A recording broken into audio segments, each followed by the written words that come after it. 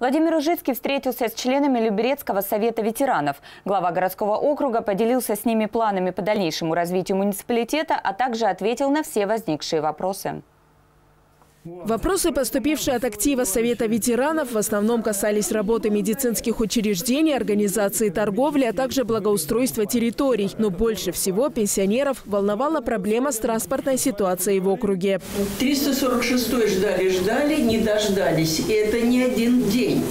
Это как система у них. Владимир Ужицкий отметил, что проблемы с транспортом наиболее остро стоят в новых микрорайонах. Для разрешения ситуации глава предложил организовать встречу активных жителей округа с представителями компаний-перевозчиков. Также на встрече прозвучали вопросы касаемо реконструкции станции Люберцы-1. Стоят вот эти вот палатки, никому не нужные.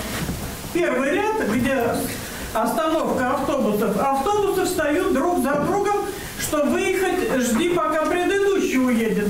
Не важно, что ты должен уехать. Станция Люберца-1, она подлежит реконструкции. Здесь будет э, так называемый транспортно-пересадочный узел. Но как он строится?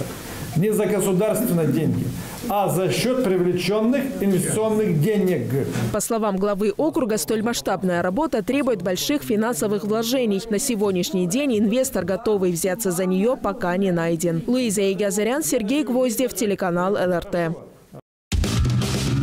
Всем привет! Я Наталья Григорьева. Вы смотрите ЛРТ. Подписывайтесь на наш канал на YouTube, ставьте лайки и всегда будьте в курсе интересных событий.